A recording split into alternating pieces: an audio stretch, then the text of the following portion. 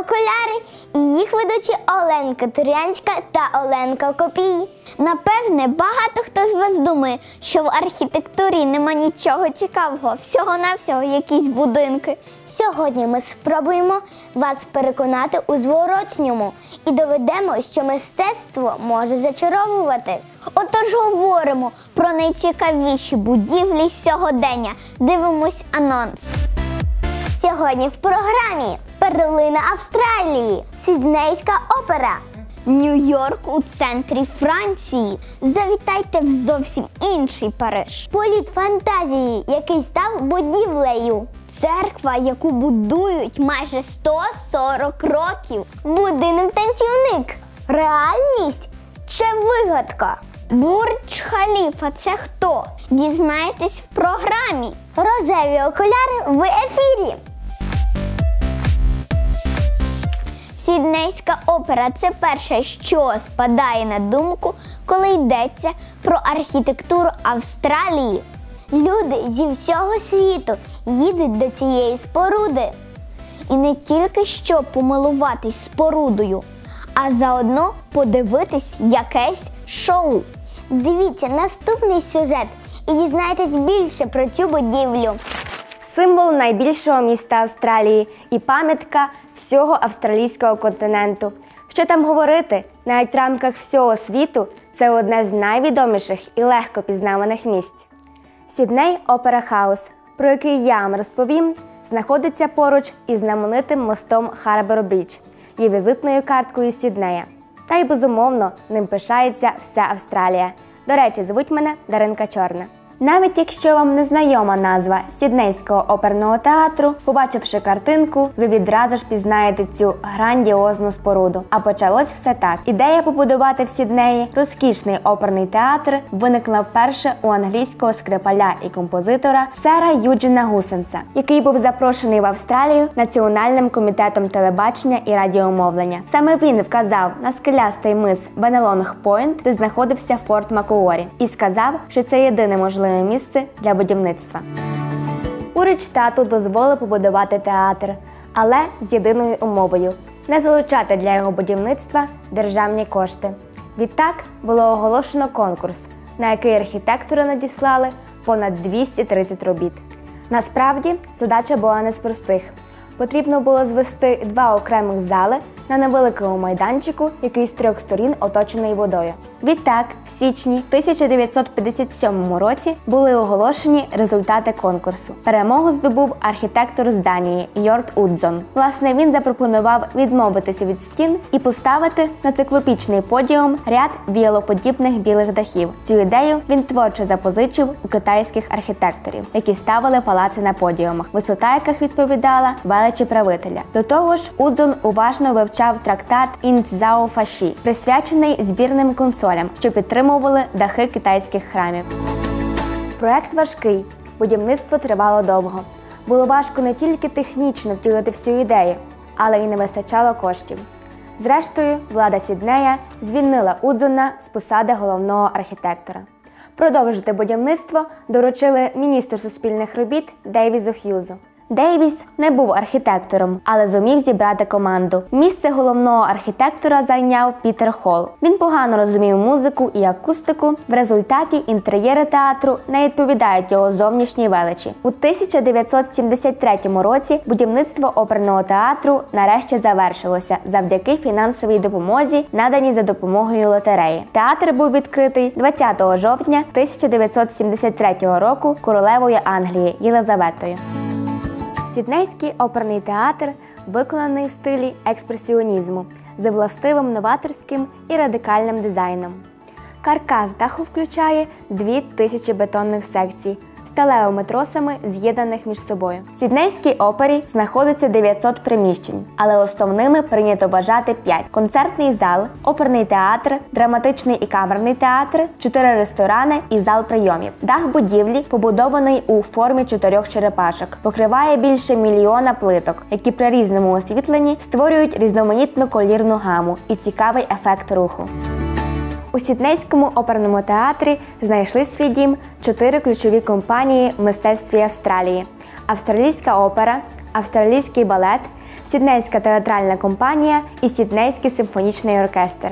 Крім них, ще безліч інших компаній і театрів базуються в Сіднейському оперному театрі. Сідней Опера Хаус щорічно проходять близько 1500 виступів із загальною відвідуваністю більше 1 мільйона осіб. Він також є одним з найпопулярніших визначних пам'яток Австралії. Більше 7 мільйонів туристів відвідують його щороку. ЮНЕСКО назвав Сіднейський Опера Хаус об'єктом всесвітньої спадщини. По обидві сторони океану багато людей приходять до висновку, що це найбільш видатна споруда з тих, що були побудовані в 20 столітті. З цим твердженням важко не погодитись. Ну а для вас працювала Даринка Чорна. Па-па! З далекої Австралії летимо в близьку нам Європу. Оленко, яка твоя улюблена країна на цьому континенті? Звісно, що Франція, Єлисейські поля, собор Паризької Богоматері, Ейфелова вежа. Ну, кого зараз дивуєш Ейфелевою вежею або Єлисейськими полями? А ось така чудернацька споруда, як велика арка братерства, відкриває туристові зовсім нову Францію. Цікаво, дивимося сюжет. Париж місто усіх закоханих. Напевно, це перша асоціація, яка спадає на думку, коли в розмові згадується назва цього дивовижного міста. Проте воно може похизуватись не тільки своєю романтичною атмосферою, а й архітектурними спорудами. Привіт! З вами Анастасія Салабай, і сьогодні ми відправляємось до Парижу. А точніше, я розповім вам про велику арку Дефанс. Велика арка де Фанс завдала клопоту багатьом архітекторам. Вона мала стати фінальною точкою історичної осі Парижу, ряду пам'яток архітектури, що починається від Лувра, простягається через Єлисейські поля, площу згоди та тріумфальну арку. Було створено 484 проекти, проте обрали серед них ідею данського архітектора Йохана Отто фон Спрекельсена. І вже у 1983 році почалось будівництво. Протягом чотирьох років тривало будівництво. Урочисту арку відкрили лише в 1989 році, у день 200-річчя французької революції та 100-річчя Ейфелевої вежі. Цікаво, для того, щоб повідомити архітектора Отто фон Спрекельсена про закінчення будівництва, французькому представнику довелося відправитись до нього на човні, адже сеньор Спрекельсен перебував у своєму будинку без сучасних засобів комунікації. Велика арка де Фанс стала сучасною тріумфальною аркою, але на відміну від неї, арка Дефанс присвячена ідеям гуманізму, а не військовим перемогам. Вона має форму правильного куба зі сторонами 110 метрів. Дизайн цієї арки був сприйнятий позитивно не всіма мешканцями Парижу. До того ж, на будівництво витратили більше коштів аніж планувалось. Проте сьогодні велика арка Дефанс стала дуже популярною серед туристів, хоч і не такою відомою, як Лувр або Ейфелева вежа. Під час будівництва головний архітектор змінився, адже у 1987 році Йохан Отто фон Спрекельсен загинув. Його справу продовжив помічник Поль Андре. З моменту завершення будівництва велика арка де Фанс була відкрита для відвідувачів до 2010 року. За такий період ця споруда дещо зносилась, тому до 2017 року відбувалась реставрація. Наразі ж арка знову відкрита для відвідувачів. Піднявшись на вершину великої арки Дефанс, ви зможете побачити весь Париж, немов на долоні. Також в арці Дефанс розташувались офісні приміщення і велика зала, де відбуваються виставки з роботами відомих фотожурналістів Франції. І якщо ви відчуєте, що вам потрібно перекусити або навіть повноцінно поїсти після важкого підйому по сходах на даху арки для вас працює ресторан французької кухні та снек-бар. Також дах великої арки Дефанс використовують як платформу для проведення різних заходів, шоу, концертів та навіть для занять ранкової йоги. А ось взимку на вершині арки Дефанс відкривають ковзанку. Ви тільки уявіть, які емоції ви отримуєте, катаючись на ковзанах на вершині 110 метрів над Парижем.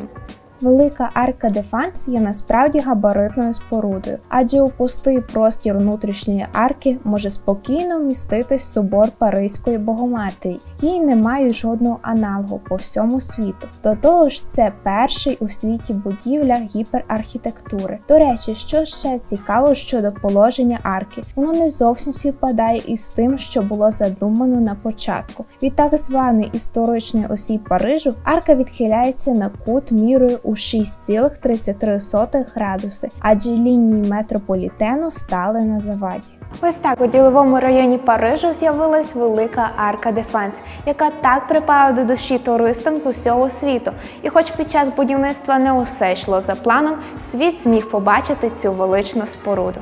Тож, якщо будете у Парижі, пам'ятайте, що ви можете відвідати не тільки тріумфальну арку, а й будівлю ХХ століття Велику арку Дефанс. З вами була Анастасія Салабай. Па-па! Споруда, будинок із химерами є однією із візитівок не тільки Києва, а й всієї України. Цього дива архітектури могло б і не бути, якби не фантазія Владислава Городецького. Побудувати палац на пагорбі, який раніше був болотом, це дійсно сміливе рішення. Як відбувався процес будівництва та що можна розгледіти на його фасаді, дізнаємось із наступного сюжету. Самотній дім, що стоїть на схилі, довкола якого ходить чимало легенд, звучить як сюжет для фільму жахів, чи не так? Проте такі будівлі існують не тільки у казках та кінематографії. Будинок із химерами, розташований у Києві, він привертає до себе чимало уваги. Тож давайте звернемо на нього увагу і ми. А з вами Вікторія Питель. Цей будинок було побудовано лише за два роки протягом 1901-1903 років архітектором Владиславом Городецьким, який за напарника взяв собі міланського скульптора Еліо Сталя. Разом вони і спорудили будинок із химерами. Він стоїть біля крутого урвища, і таке розташування вже вважалось божевільним для будівництва в ті роки. Проте Городецького це не зупинило. Навколо цієї будівлі ходить багато легенд. Найпоширеніша з них розповідає нам про те, що Городецький збудував цей будинок на честь своєї доньки, яка втопилась у Дніпрі. Проте історики спростували цю легенду. Донька архітектора була повністю здоровою та й взагалі пережила свого батька на багато років. І ще одна легенда, яка стосується будівництва цього будинку. Це, начебто, Владислав Городецький звів будинок із химерами, щоб виграти парі. Цікава версія, яка пасує характеру архітектора. Але будинок цей він відбудував для себе і для своєї родини. Для кожного тут була окрема кімната, а ще винний підвал, склад для дров і навіть корівник. Окремі кімнати були і для працівників.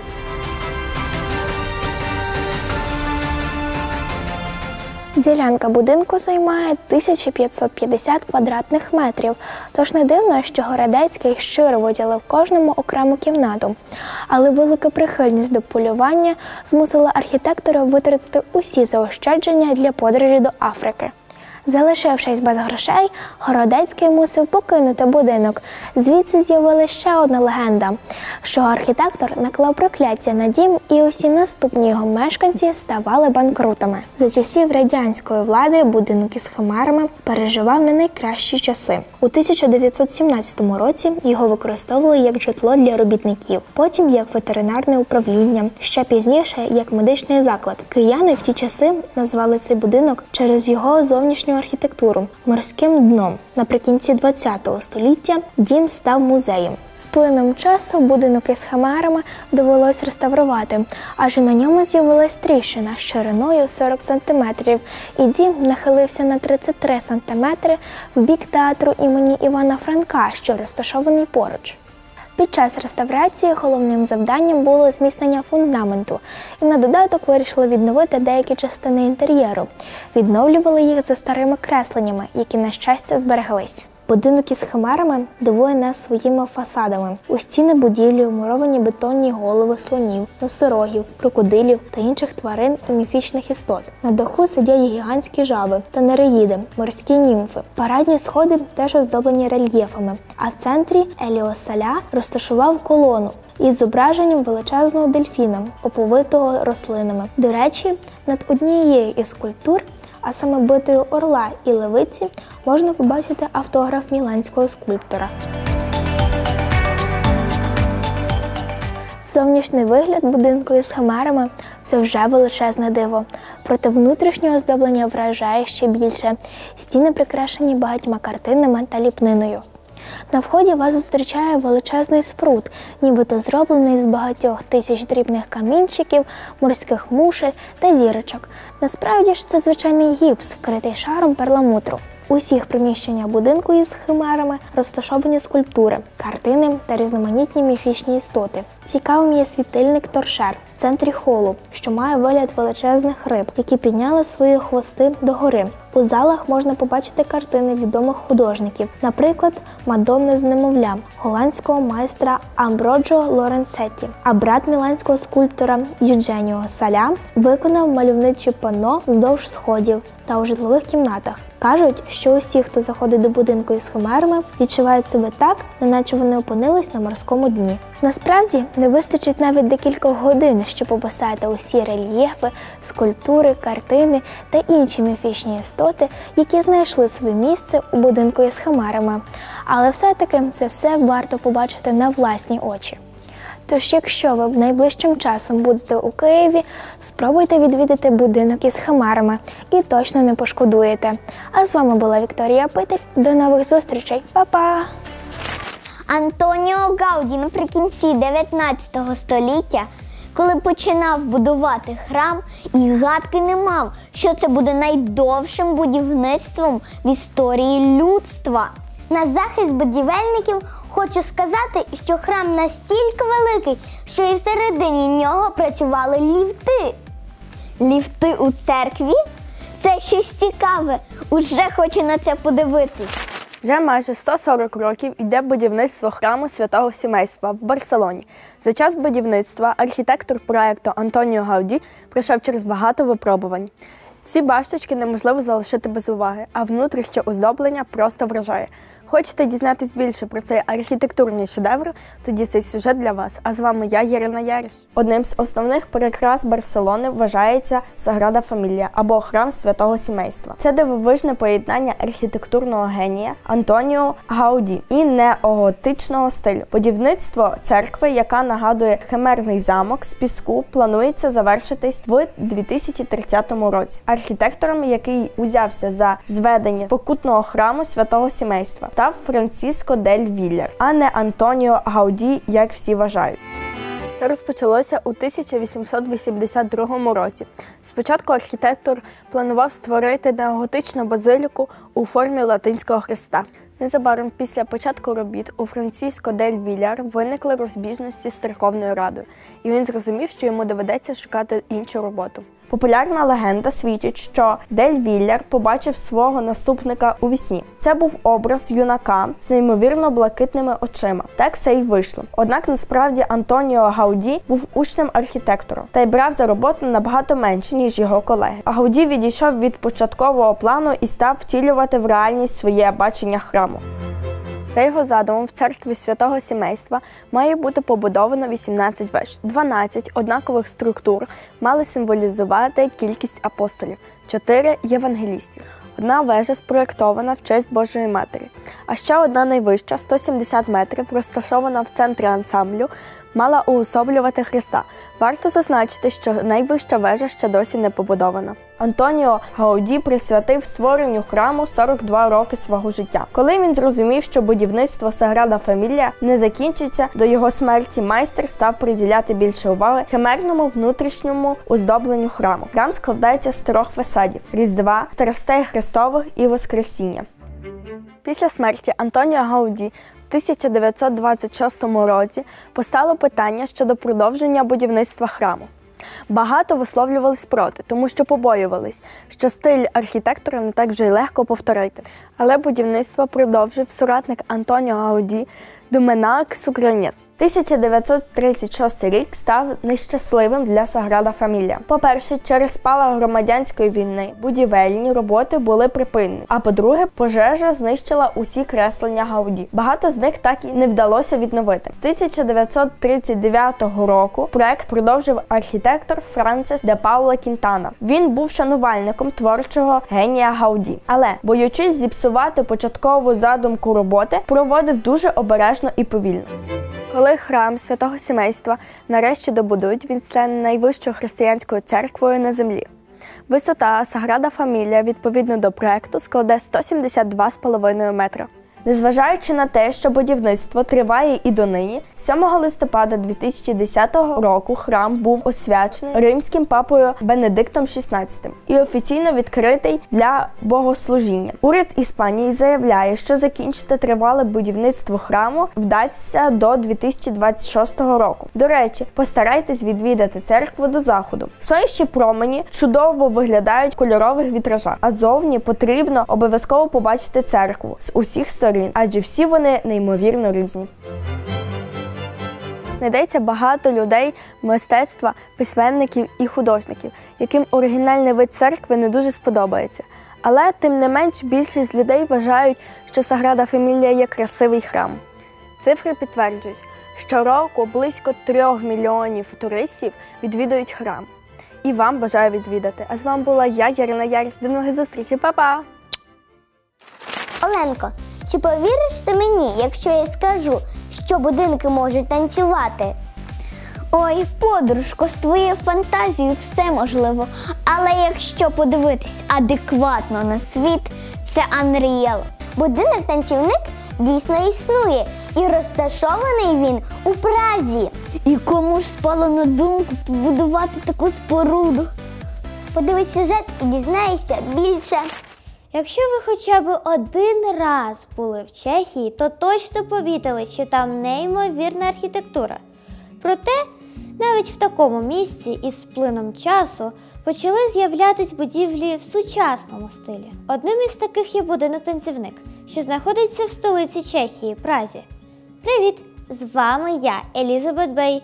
І сьогодні головним героєм мого сюжету буде саме ця будівля. Будинок танцівник це символ непростої історії Чехії, побудований у стилі деконструктивізм. Його історія бере свій початок у 19 столітті. Спочатку на цьому місці стояв звичайний будинок, проте він був зруйнований під час воєнних дій, і декілька років площа залишалась порожньою. Тодішній президент Чехії Вацлав Гавел, який проживав неподалік, став ініціатором зведення нової будівлі. У 1992 році був оголошений конкурс проєктів, на якому перемогу здобула робота хорватського архітектора Мелунича, який запросив приєднатись до проєкту відомого канадського архітектора Френка Геррі.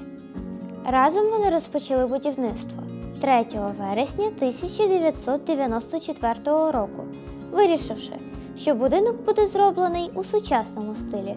І вже 20 червня 1996 року відбулося урочисте відкриття. Цей будинок дуже відрізняється від будівель 18-19 століття, що його оточують. Через свій сучасний вигляд він став предметом багатьох суперечок і навіть мітингів, адже мешканці Праги були проти такого новаторства. Однак, попри незадоволення, президент не змінив свого рішення і руйнувати будинок не став. Тепер танцюючий дім одне із найпопулярніших місць, які бажають відвідати туристи, і майже всі мешканці звикли до нього. Через свій вигляд будинок танцівник отримав безліч куметних назв. Іноді його називають п'яним будинком, стаканом або ж Джинджер і Фред на честь відомої танцювальної пари.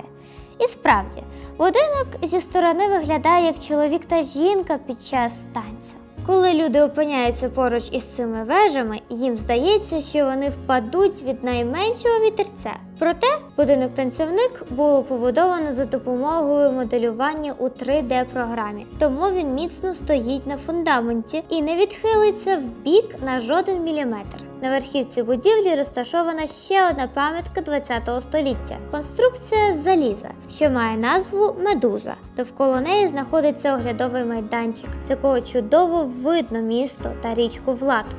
Танцюючий будинок складається з дев'яти поверхів, два з яких підземних. У наш час всередині знаходиться офіс, тому вхід туди дозволений лише співробітникам.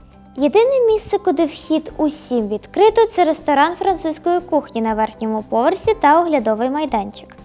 Також в будівлі проводять виставки робіт молодих художників. У 1996 році, майже одразу після того, як цей будинок було побудовано, він отримав найвищу нагороду на міжнародному конкурсі дизайну. А у 2005 році Чеський банк обрав зображення будинку для однієї із 10 монет циклу 10 століть архітектури. Сучасний інтер'єр всередині будівлі є авторським. Він сповнений затишку та комфорту. В дизайні немає нічого зайвого. Танцюючий будинок або ж Джинджер і Фред став сучасною візиткою Праги. Туристи з усього світу приїжджають туди, аби поглянути на оригінальний фасад. Деяким жителям пощастило працювати в офісі цього неймовірного будинку. Ось такими дивовижними будівлями дивують нас архітектори ХХ століття. Сьогодні я із вами прощаюсь. Це була Елізабет Бей. До зустрічі та усім хорошого дня! Однією із найвизначніших споруд новітнього часу є хмарочос Бурдж Халіфа в Дубаї. Висота цієї будівлі 828 метрів. Це робить її найвищою у світі. 162 поверхи та 57 ліфтів. А скільки людей вона вміщує, на пальцях не порахуєш. Про те, як зводили хмарочос у сюжеті.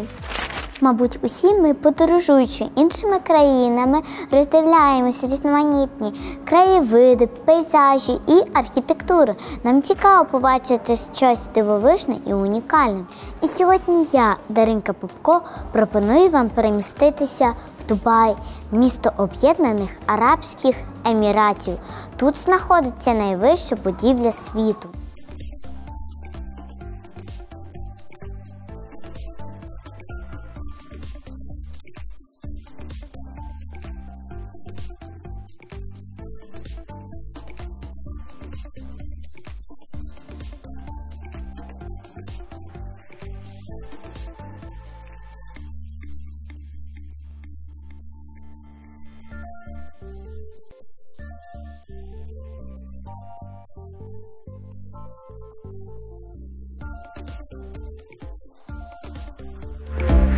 Ну що ж, як я обіцяла, зараз про найвищу будівлю у світі. Це башта Бурдж Халіфа. Її висота 828 метрів. Уявляєте? Довелося розробляти особливу конструкцію, щоб верхню частину будівлі не хитало від вітру, а також щоб захистити її від температурного впливу.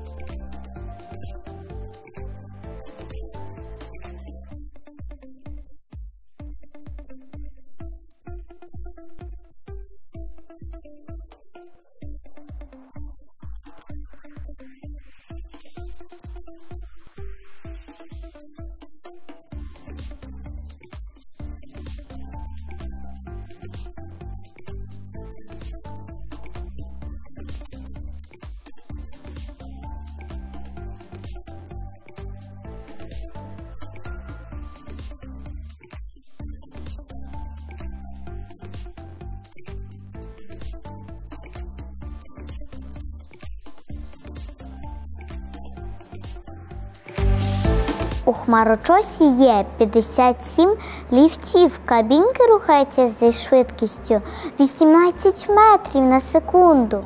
Є два оглядових майданчики на 124 і на 148 поверхах.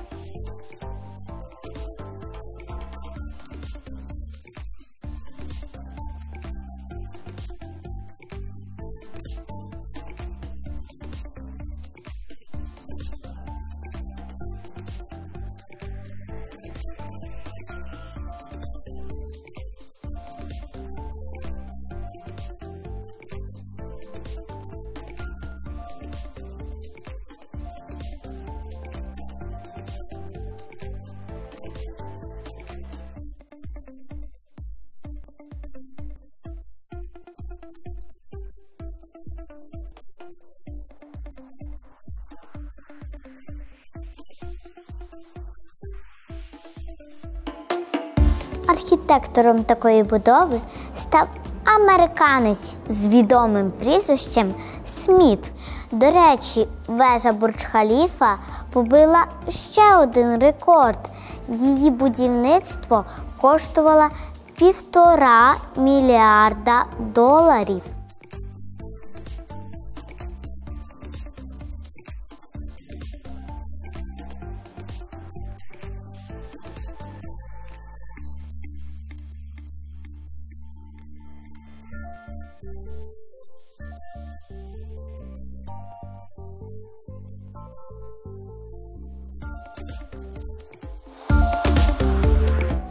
Одна інформація для вас до вежі Бурдж-Халіфа краще йти ввечері, щоб попасти на світлове шоу і на шоу музичних фонтанів. Не знаю, як ви, а я дуже хотіла б це побачити. Подорожуйте і пізнавайте світ більше. А з вами була я, Даринка Попко. Па-па! Оленко, ти знаєш, що в мене після сьогоднішньої програми виникло бажання облетіти всю земну кулю від Австралії до Азії та побачити на власні очі все те, про що ми сьогодні говорили. Бажаю, щоб твоя мрія збулася, але нам час прощатися з нашими глядачами. А для вас працювала Оленка Копій та я, Оленка Турянська. Дивіться на світ разом із нами крізь рожеві окуляри. Па-па-па-па! Па-па-па-па-па-па-па!